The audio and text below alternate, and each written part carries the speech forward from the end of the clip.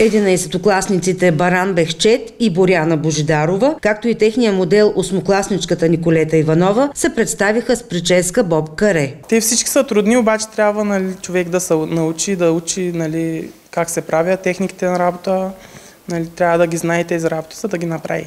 Гримьорът също трябва да е добре подготвен, точният грим не е случайност. С помощта на госпожата го решихме да го направим, така че да се съчетава с прическата и с туалета на Деония.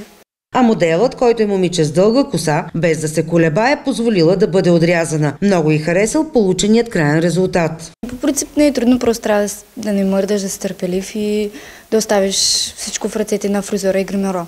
Туалетът, с който участвал моделът, също бил дело на училището, създаден по идея на модиста Галина Радкова. Аз изключително много съм горда с учениците, с това, което постигнаха. Имахме малко трудности в началото преди да тръгнем, но въпреки всичко не се отказахме.